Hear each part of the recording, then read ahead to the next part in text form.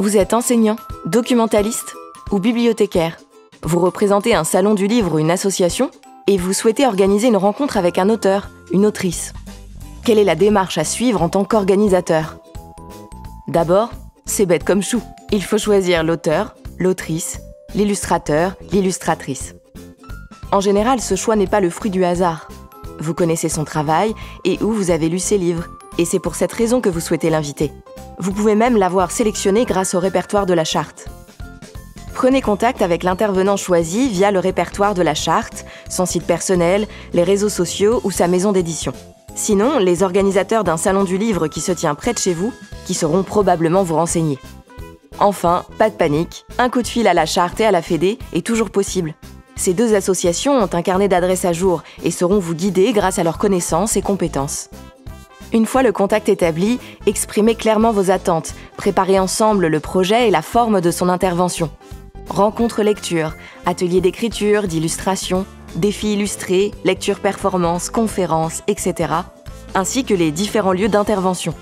Un planning précis détermine l'ensemble des animations prévues sur le territoire.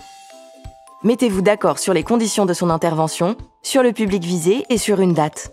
N'oubliez pas de demander à votre futur invité de vous dire s'il ou elle est dispensé de précompte et de vous donner d'autres informations essentielles.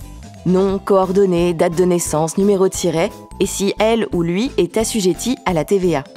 Quand le présentiel n'est pas possible, le distanciel, visio, correspondance postale, échange numérique, peut permettre de ne pas annuler la rencontre. Mais attention, une intervention en visioconférence répond aux mêmes obligations, notamment en termes de rémunération. Maintenant, il est temps de prévoir un budget global pour cette intervention.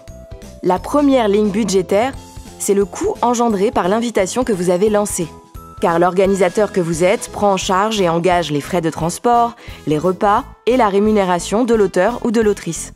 Cette rémunération est établie selon un tarif minimum fixé par la charte et la Fédé des salons. Détail sur le site de la charte. Si côté budget, ça coince, sachez que votre projet de rencontre peut être soutenu financièrement par différentes aides, celles de l'inspection académique, de la bibliothèque départementale, de la DRAC, de la SOFIA, du CNL, du réseau Canopé, de la municipalité, de l'intercommunalité, de partenaires privés, voire d'une autre organisation pour mutualiser des projets. Il est maintenant temps d'organiser la venue de l'auteur ou de l'autrice. Vous pouvez d'ailleurs prévoir de signer une convention, comme celle proposée par la charte. Cette convention fixera sur papier la date, le lieu et les conditions d'intervention. C'est l'occasion de prévoir une solution de repli si finalement, pour des raisons qui ne dépendent ni de vous, ni de votre intervenant-intervenante, la rencontre ne peut pas avoir lieu physiquement. Vous pouvez peut-être l'adapter à distance. Après la rencontre, il vaut mieux rappeler à l'auteur ou à l'autrice de vous envoyer une facture et sa dispense de précompte. Cette facture doit comporter un certain nombre d'informations le concernant, en tant qu'intervenant, intervenante, et vous concernant en tant qu'organisateur. Nom, coordonnées, numéro de sirène sirette. Les éventuels défraiements et remboursements de matériel font l'objet d'une note de frais à part. Dans le cas d'un auteur domicilié à l'étranger, aucune cotisation sociale n'est à à l'URSSAF. On paie l'auteur en brut et on reverse le 1,1% diffuseur. Parmi les mentions obligatoires devant figurer sur la facture, la TVA. Beaucoup d'auteurs n'y sont pas assujettis et ils le stipulent sur la facture.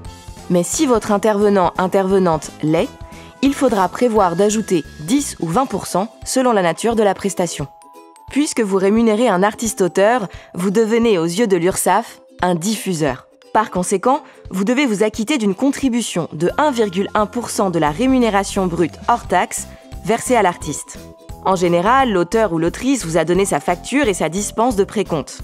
Dispensé de précompte, sa rémunération s'effectue en brut. C'est donc dans ce cas que lui ou elle versera ses cotisations sociales à l'URSSAF.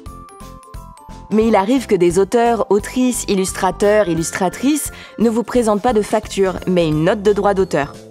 Une chose est sûre, sans dispense de précompte valide, le diffuseur doit précompter l'auteur-autrice et vous devez leur produire un certificat de précompte, une attestation précisant le paiement des cotisations à l'URSSAF. Dans tous les cas, précompte ou pas, n'oubliez pas de faire vos déclarations à l'URSSAF dans les temps. Elles se font trimestriellement. Une déclaration annuelle nominative doit être également réalisée au plus tard le 31 janvier de l'année suivante. Voilà, vous savez l'essentiel. Pour d'autres infos, une direction, le site de la charte. Vous y retrouverez nos modèles de factures et de conventions, sans oublier l'outil magique qui vous aide dans vos calculs.